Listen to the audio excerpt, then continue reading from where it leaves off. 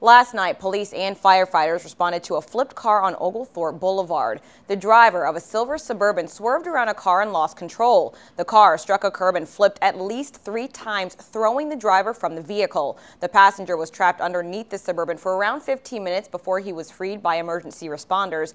Both men had to be taken to Phoebe for medical attention. No word yet on the condition of the men or if the driver will face any charges.